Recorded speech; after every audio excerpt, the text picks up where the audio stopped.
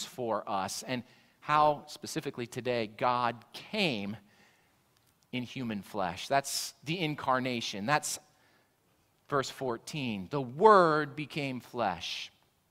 Incarnation. We use that word theologically. We sometimes use it even in human terms that someone incarnates something, it represents something, a characteristic or a quality. Sometimes we even use it of, of children of their parents, right? Like you see in the child, the parent. Become more and more aware of this in my own maturation. As I get older, I can see more and more of my dad coming through me. There's certain character traits that we will display, even of our parents. We see it in children. Some look in physical appearance like them, some act like them, and there's no doubt influence does that. Genetics does that. But in the incarnation, Jesus perfectly revealed the Father to us. The incarnation exhibits God and shows us the Father. Oh, this app's doing it again. I'm going to try to read this stretch of an app right here that I have up, open in my phone, but it constantly wants to reset itself when I restart it. So, as it's doing this, let me just give you the background to this. This is a quotation from Michael Bird. He's written, he's a theologian that teaches in Australia, and he's written a, a, a theology book entitled Evangelical Theology. And in his stretch of text on Revelation, the revelation of God, when we speak theologically of revelation, we're talking about natural revelation. God can be seen in the creation, but we also have another form of revelation called special revelation, in which God reveals himself. And we typically think of special revelation as the Bible. God revealed Scripture to us, He gave us Scripture, and so we know about, and see God in Scripture. But the greatest form of special revelation isn't nature, it isn't even the Bible, it's Jesus Christ. And here's what he says about that. Usually, the incarnation is regarded as a subspecies of special revelation. However, I contend that the incarnation is qualitatively above and beyond all forms of special revelation by virtue of the immediacy, clarity, and personality of its revelation. When the fourth evangelist, speaking of John the gospel writer, our passage today, wanted to describe the single greatest act of God's self revelation, he did not say the Word became a book. Instead, he wrote, The Word became flesh. Incarnation is the most efficacious revelation that God has ever made. The incarnation is not mediated through nature. It is not a word spoken through human agents. It's not given in the pages of a scroll, and it is not a word activated in the human mind. The incarnation is God in the flesh. It is the, he uses this word, perspicuous or clear, clear and powerful revelation of God as a human being. Not God in human words, but God with a human face. Even, even though Scripture sometimes gets described in terms analogous to an incarnation as a God man book, the Bible is not an incarnation of God's Word. The incarnation is in a class of its own as a type of revelatory act. It's unique.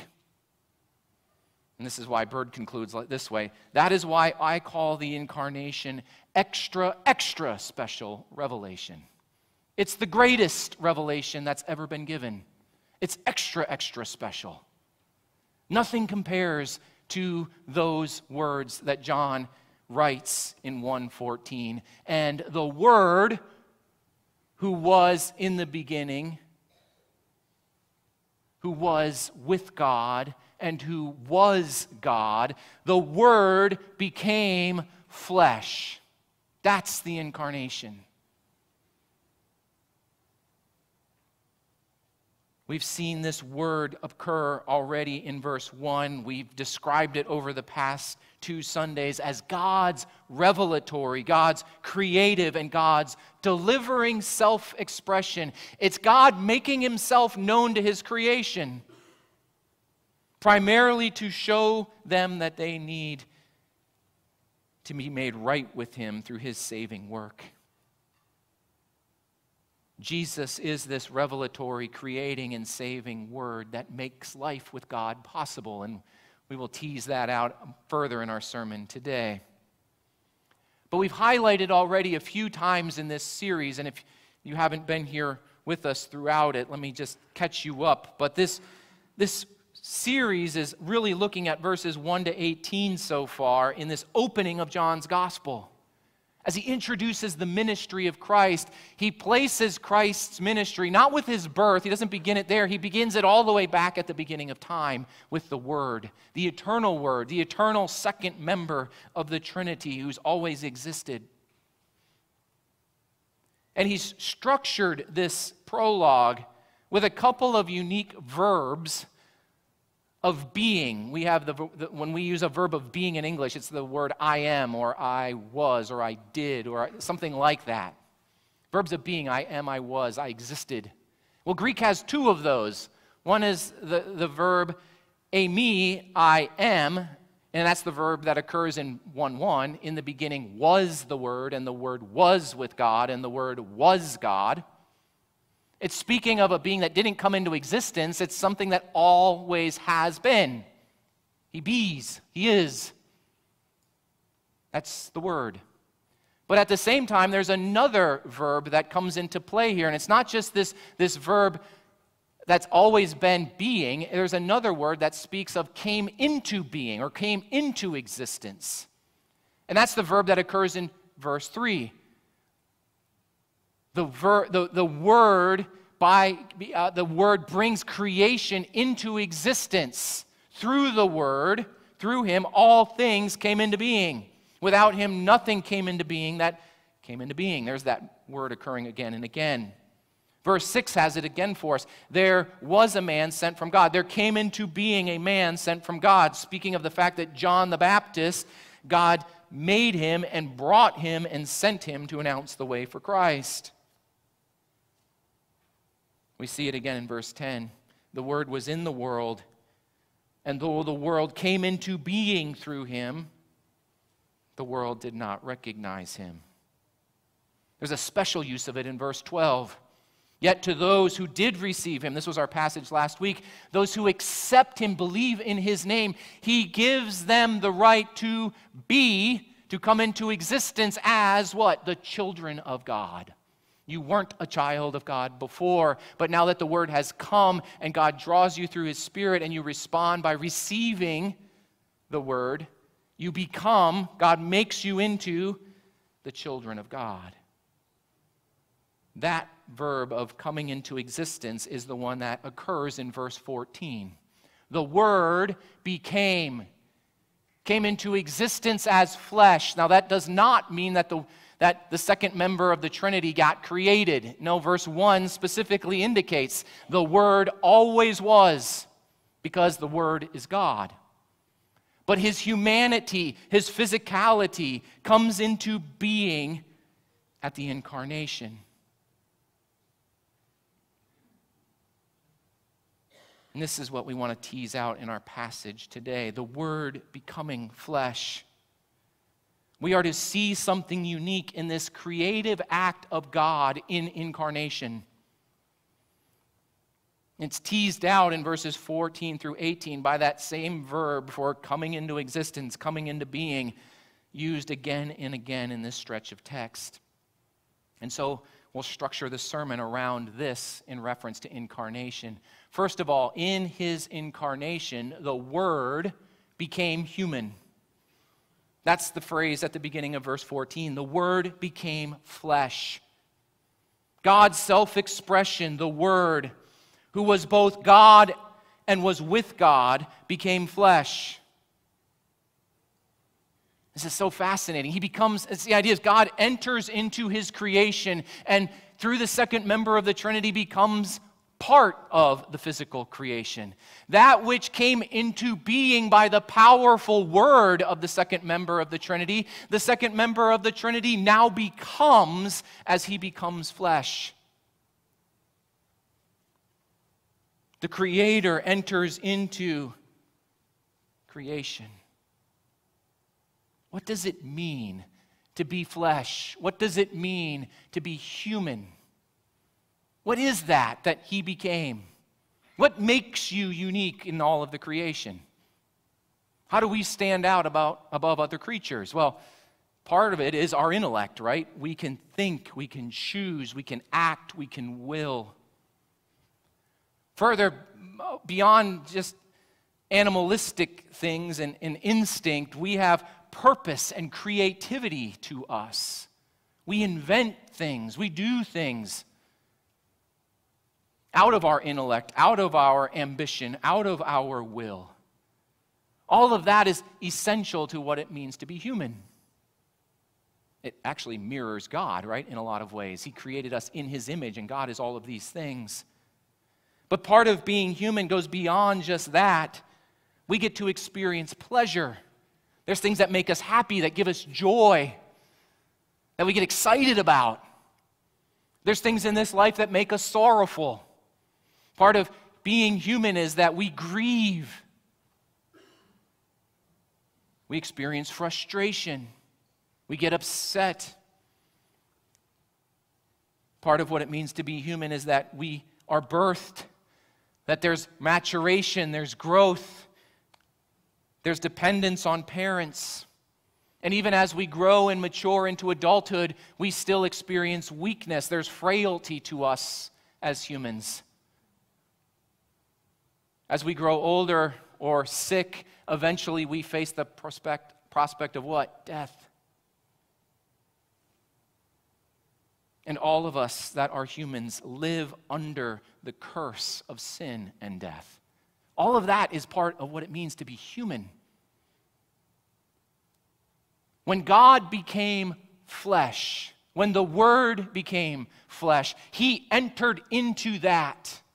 The Creator became human and lived all of this out. And I think that's why John uses the term flesh rather than just man. Because flesh has physicality, it has weakness, it has frailty, it has all of that tied up into it. And John wants us to communicate that when the Word became flesh, he entered into all of that. Jesus would go through maturation and birth and growing up. Jesus would die and experience death. He would have to mature like we do. Luke tells us that, right? He grew in knowledge, wisdom, stature before God. I don't know what that all means other than that Jesus matured just like humans mature.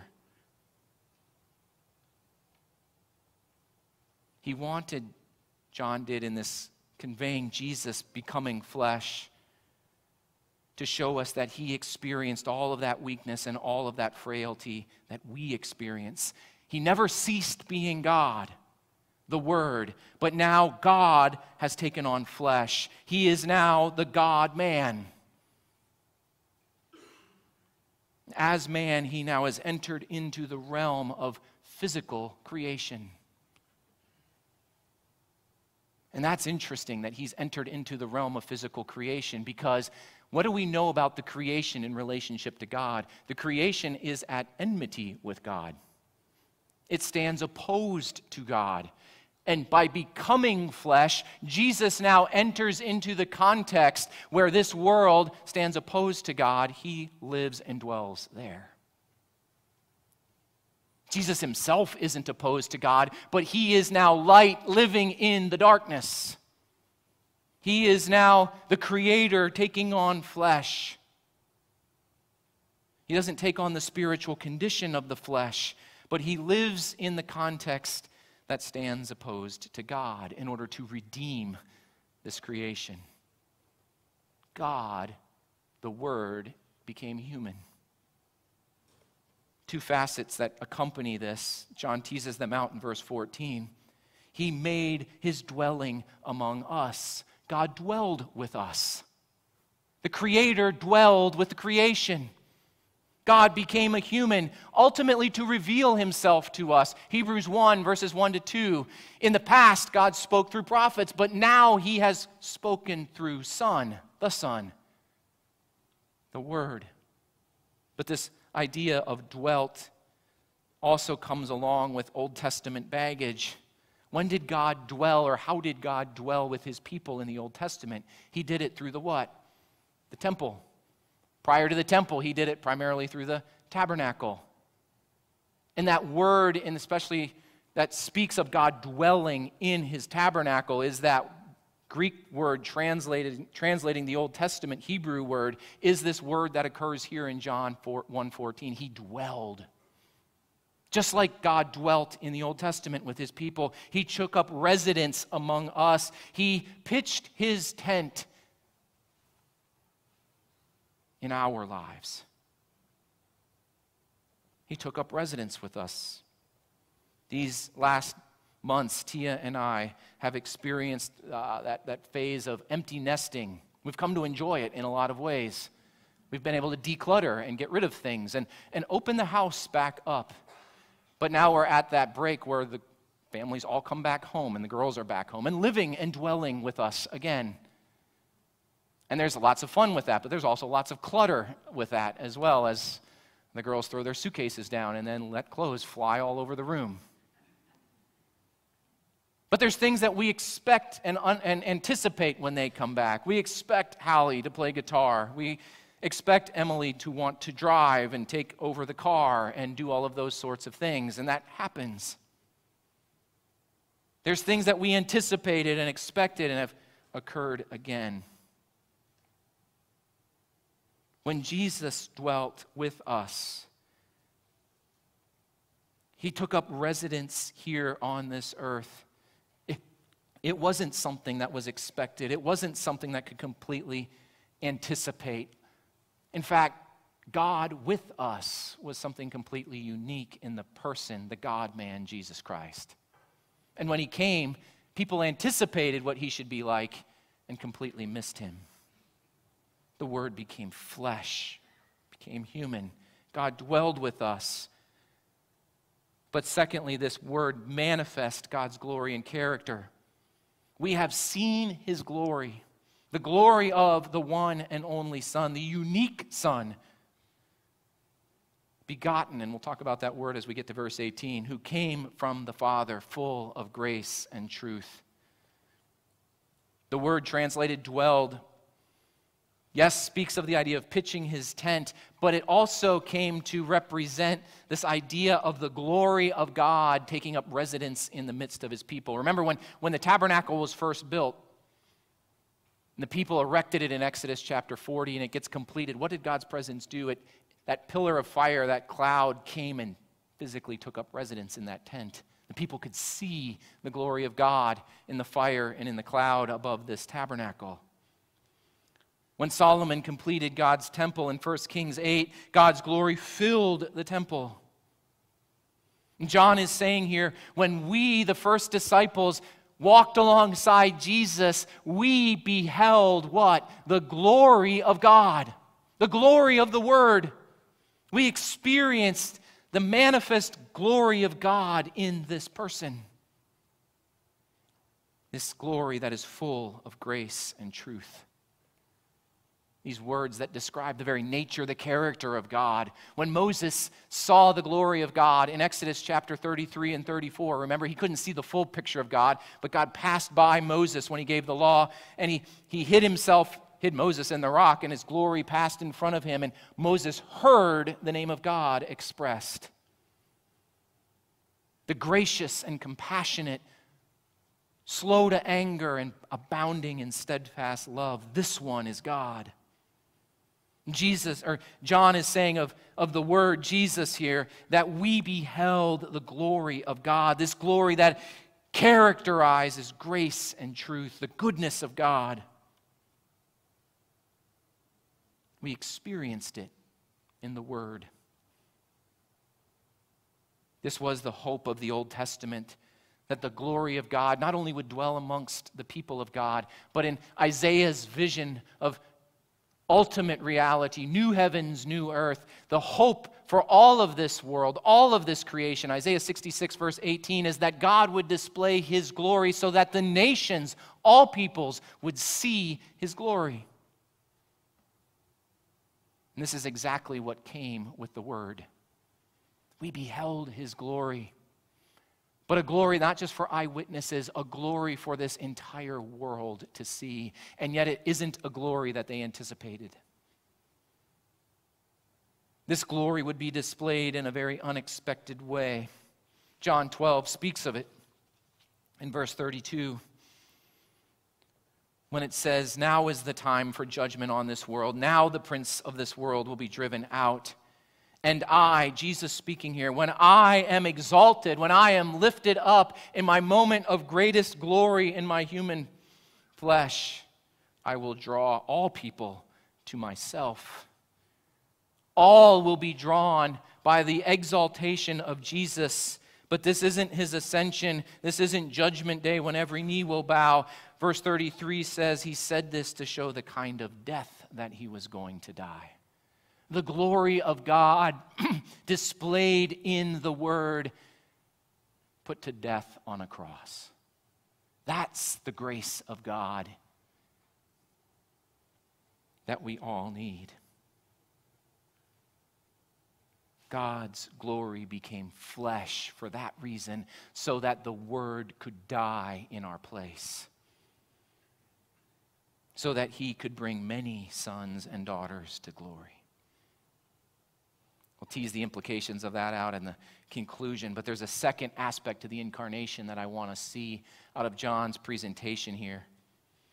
The Word became flesh, but verse 15, the second use of this came word, coming into being word, is found in verse 15. The coming one came as the greatest one. John testified concerning him. He cried out, saying, This is the one I spoke of when I said, he who comes after me, and the word here is translated in the NIV, this word for came, surpassed me because he was before me. The ministry of John the Baptist, we've already highlighted from verses 6 through 8. John, like many Old Testament prophets, came to, to fulfill a very specific mission from God to announce God's word, to announce God's revelation. But John stands at the pinnacle, the climax of all Old Testament prophets, because he's going to usher in the way, Jesus Christ. He's going to usher in his ministry. John's not the light, but he's a witness to it and he witnesses to the all surpassing person and work of the Word. It cries out this important message This is the one I was speaking of. Here's the content of the message The one coming after me. Let me translate it very wooden literally here. The one coming after me comes before me because he was before me. Both verbs of being there. Comes before me because he was before me. John is making a very important point, and it's actually kind of an oxymoron here. There's going to be one who comes after me, but he is before me because he was before me. Meaning, the one I'm announcing, yes, he will come after, but he's greater than me. He's well before me because he existed before me as God. The culmination of Old Testament prophecy, lived out by the Baptist, cannot compare to the greatness of the Word, God incarnate. The prophets, the prophecies, I would suggest the entirety of the Old Testament finds its fulfillment and finds its end in the Word, Jesus Christ. The God man the Word becoming human and dwelling among us. This would be the greatest human ever, choosing to come and pitch his tent among us. I was trying to think about what that would even look like today. Who's the greatest human on earth today? I mean, that, that would be up for discussion, right? I mean, we're going to take a, a celebrity or are we going to take a sports star? I, they're not, I, just don't think they're impactful enough. Uh, just think if, if somebody like Warren Buffett, right, the great investor, billion, billion, billionaire, right, came to you and said, I want to build a little residence in your backyard, and I want to dwell in your backyard for the next three years, and I want to spend time with you and teach you how to take your finances and invest them properly and create real wealth. Or, or, or take Elon Musk and he saying, I'm going to build a little shack in your backyard and I'm going to dwell there for three years and show you how to creatively come up with plans and ideas and put them into motion and create business and be successful and accomplish all sorts of things. I mean, we would be foolish not to let them neighbor in our backyard, right? And, and show us all of this stuff. But this is one who far surpasses any human that's ever existed. This is the greatest human who's ever existed, saying that I want to dwell with you, I want to be in residence with you. And show you the way into right relationship with God and teach you the way to walk after me so that you can be eternally secure and live eternally beyond death and live fully and completely in new heavens and new earth one day. This is the God man, the greatest person to ever live, dwelling among us. But it's beyond dwelling among us. If we believe and accept Jesus as Lord and Savior, He dwells where? In us through His Spirit. He takes up residence in us as the church of Jesus Christ today. The greatest one has come to us. And lastly, from the incarnation in Jesus coming, I want us to see in his incarnation, Jesus came as grace and truth for all. Out of his fullness, out of the fullness of grace and truth, all of the character of what it means to be God, we have all received grace in place of grace already given. For the law was given through Moses, but grace and truth came through Jesus Christ. Because the Word is God, because the Word became human, He, as the greatest human, embodied the fullness of God. He was full God, full deity, the fullness of God dwelt in him, Colossians 2, verse 9. All that it means that God is gracious and compassionate, slow to anger, and abounding in steadfast love to those who are his, Jesus embodied. So that when you saw and experienced Jesus, you saw and experienced the grace and the compassion and the love of God. Jesus says this to his disciples in John 14. To Thomas's question about, Lord, we don't know where you're going, so how can we know the way? And Jesus will say to him, I am the way, the truth, and the life. No one comes to the Father except through me. And if you really know me, then you will know my Father as well. From now on, you do know him and have seen him. You've seen the Father, Jesus is saying. And Philip asks, Well, how is that? Show us the Father, and that will be enough, Jesus. And Jesus answers, Don't you know me, Philip, even after I have been among you for such a long time? Anyone who has seen me has seen the Father. How can you say, Show us the Father? Don't you believe that I am in the Father and the Father is in me? Jesus was the perfect reflection of the Father the Word became flesh. And as we beheld his glory, we saw and received the fullness of grace. And since he displayed and brought the fullness of God, his followers get to participate and receive the fullness of God's grace in Christ Jesus. You have received something amazing and incredible because you have Christ in you. You have grace in place of grace already given. We stand in such a privileged position. Well, how does grace replace grace? That's what verse 17 explains. There's a contrast there. Some translations translate this grace upon grace or grace heaped up on more grace, and that's true. But the preposition actually really conveys throughout the New Testament this idea of in place of or instead of. You have grace instead of grace. You have greater grace. Before Jesus, grace existed, but it was a mediated grace. Before he came, people could experience the grace of God, but it was a grace that God gave to his people in the law through Moses. It was mediated. You were given it. We tend not to think of the law as grace. We read scripture kind of anachronistically from our perspective today. We look back and look at all of it through Jesus Christ, and so the law is kind of like an enemy of Jesus, or the law is the enemy of faith in Paul's theology.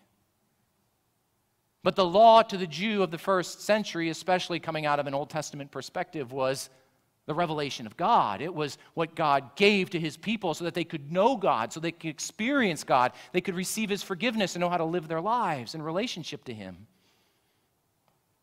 The law was given by God to Moses at Sinai, and it showed the people how God could dwell in their midst at that time.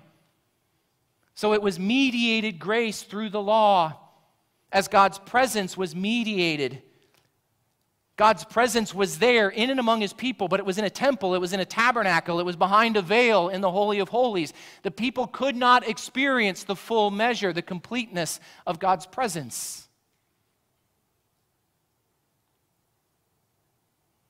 It was veiled from his people. And as someone in that era who would have received God's grace in this way, you would have received grace through law that God gave to Moses. This was God's chosen mechanism at that time to demonstrate grace to his people. It was grace, but it was mediated. In contrast to this, this is the point. Now we get unmediated grace. This is why we have grace instead of grace. We get a much greater grace. Notice the contrast in verse 17. The law was given through Moses but here's our word came again or came into existence. Grace and truth came into being through Jesus Christ. Unmediated grace. Full expression, unveiled, no longer through law and other agents, but to us through Jesus Christ. The grace that comes with the incarnation replaces any grace that came from law. It supersedes all grace that preceded it. And we get to experience and see the fullness of His grace, the fullness of His truth, because we have received grace and truth through Jesus Christ. This is the first time, if you've paid attention through this series, this is the first time John mentions Jesus Christ. He's referred to him as the Word, but all of the pronouns, this one, and those things that refer are always referring to the Word, the second member of the Trinity. But now the Word has incarnated, has become flesh. The greatest one has arrived, and he has brought unmediated access to grace, and that is in the person and work of Jesus Christ. God made flesh all that Moses heard when Yahweh passed in front of him now comes into being in the person and work of Jesus. And Ed Klink, in his commentary on this stretch of text, points out this fact. This will be the last occurrence of the word grace in the Gospel of John 1:18. You won't see the word occur again, I mean 1:16 and 17. It doesn't occur again because grace has no meaning for John other than Jesus, the Messiah. Jesus embodies grace. There's no need to speak of grace anymore, it's Jesus.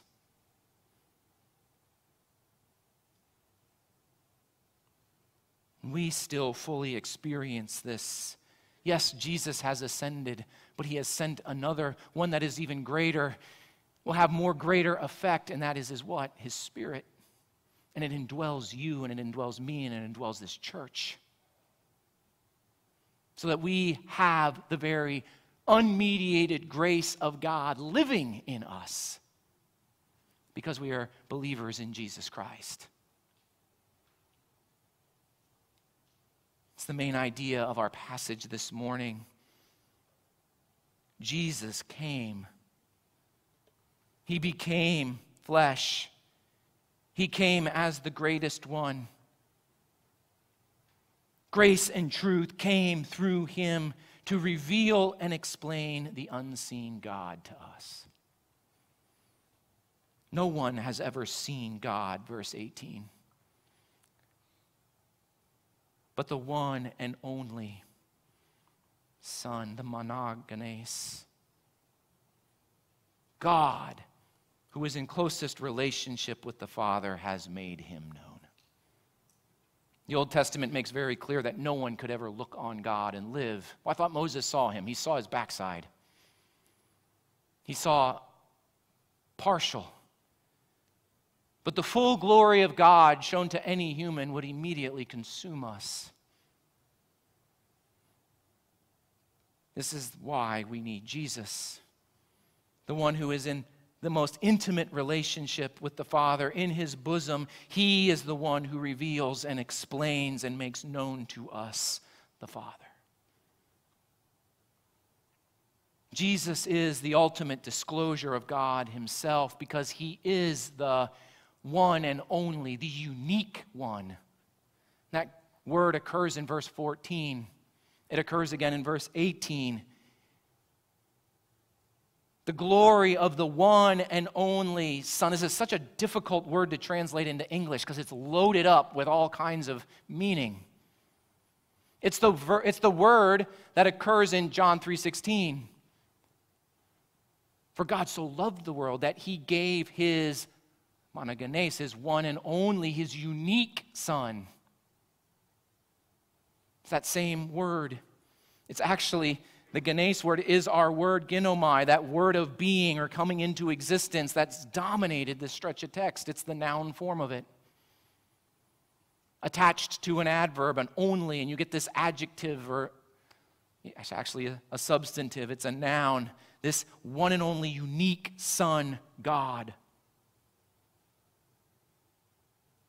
It's describing the Word, it's describing the Son, it's describing Jesus. That's uniquely existing in this relationship to the Father. And it, it's important that we see the contrast that's being made. In verses 12 through 13, we are called, those of us who believe in Jesus, who receive him, we are called what? The children of God. Children born not of flesh or human desire or husband's will, but born of God. So that we are born, we are created by God as children of God. We come into existence, He births us. So we are God's children. And in a sense, we are then siblings with Jesus as the Son of God. But he doesn't call Jesus the born one from God. He calls him this word to distinguish Jesus from us. Yes, we're siblings of Jesus because he is the Son of God and we are born of God. But he is unique and different and only in a way that we aren't because he is eternally God himself. That's why John uses this word. He has eternally been God's child, existing in perfect fellowship with him. You know, if we want to find out something about the parent, the father, or the mother, who do we go to? Whom do we go to? You know, I've done some funerals recently, and uh, in funerals that we participate in, there's a eulogy that's typically given. Who eulogizes the person? Sometimes it's a friend, occasionally a spouse, but most regularly uh, it's the child. The child provides the eulogy. Why? Because the child knows the parent. The child grew up under the care of the parent. All of us that are human have this tendency to put a veneer on, a, a, a wall up when we go out into public, right? We want people to see the best of us. But once you get in your house and you're dwelling with the children, they see the real you because the guard comes down. The child is the one who's got the experiences with the parent, and they can tell us things about the parent that we never knew. When God wanted to reveal himself to us, he sent his son to declare and to make him known, to tell us about the Father, to reveal the Father, to make him known. Only he can truly make the Father known to us. Because as the Father is light, he is light. As the Father is life, Jesus is life. And as God is gracious and compassionate and slow to anger and abounding in loving kindness to us, so is Jesus Christ. He's the embodiment of that. There's no longer a need to go through priests, sacred sites, rituals to approach God. Jesus gives us direct access to God continually. He makes him known. And if he has made himself known to us and we have received him, now we are his spiritual sibling and we are the children of God, which means we have direct access to our Heavenly Father. All of this is accomplished by the incarnation. One of my favorite, I, I will say it's my favorite hymn. It's right up, it as well is one of my favorite hymns too, but and Can It Be by Charles Wesley. We sang one of his hymns this morning, Hark the Herald Angels Sing, all that theology that's loaded. That's Wesley. He wrote incredibly theologically loaded hymns, over 6,500 of them in his lifetime. That is a ton of hymns that he wrote. But one of his first hymns that he ever composed was And Can It Be, describing his conversion experience and that chorus that resonates amazing love how can it be that my God should die for me, right? But the fifth stanza, the last stanza of that song says this No condemnation now I dread. Jesus and all in him is mine. Alive in him, my living head, and clothed in righteousness divine. So bold I approach the eternal throne and claim the crown through Christ my own. We have access to God because he dwelt in Jesus Christ. He took up his residence here among us so that we could know and experience and dwell with God eternally. And we don't we won't do that someday when we go to heaven. We get to do it right now, people. Because Christ is in us. So that's the question that we come out of this sermon today. Jesus came to reveal and explain God.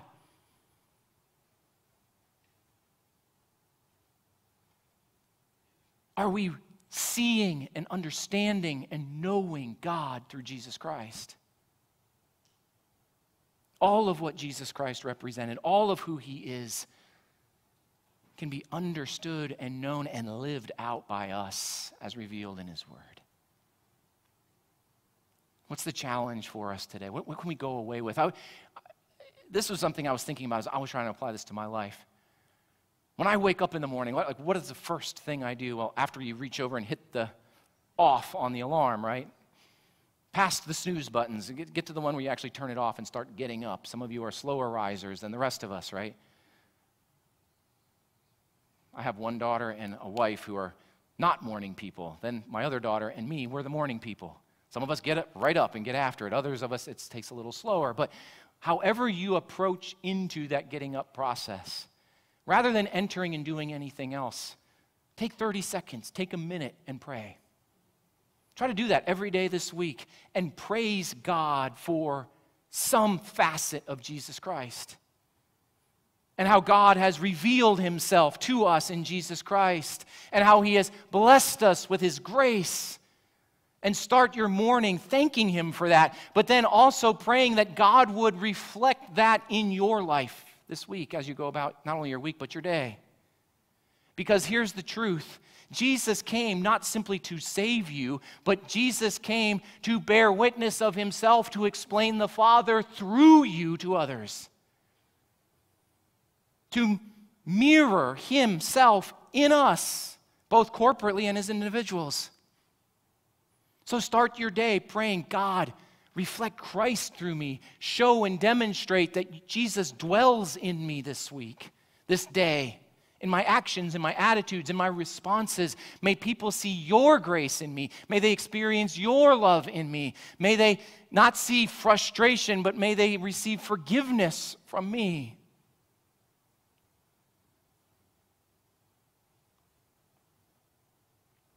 We say that our convictions as a church, Clearwater community, are that we exist for the glory of God.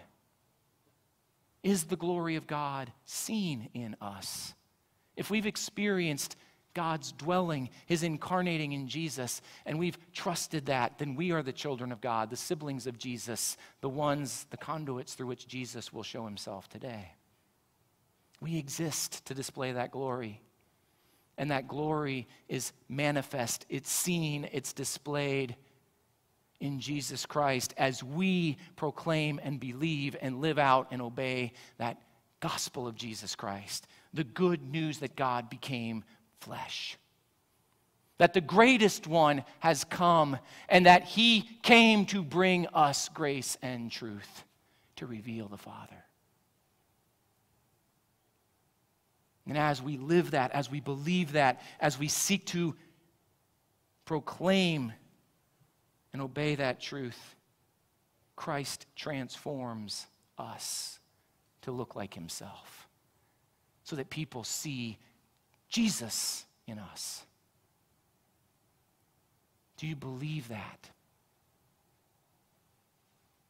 And do people see Christ dwelling in you?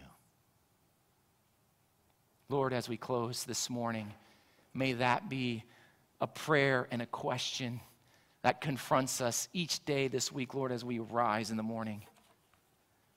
How will people see Christ dwelling in me today? How will people see that I am a recipient of your grace? I am a recipient of your truth. Not to serve self, not to do what I want to do, but as a display, a mechanism, a conduit an instrument to be used to point people to Jesus Christ. God, may we praise you and thank you as we do right now, each day this week, that you became flesh to dwell among us, to show us your glory. Lord, may we be those that testify and witness that the greatest one who's ever lived has come to us so that we can receive the grace, the truth, the fullness of God. And that that might now be lived out in our relationship to this world, to one another, within our families, so that others might experience God in us. Emmanuel has come the miracle of incarnation. Lord, may we display it in our actions and in our words, and our thoughts, and in our prayers this week for your glory to display Christ. We pray these things in Jesus' name. Amen. Amen.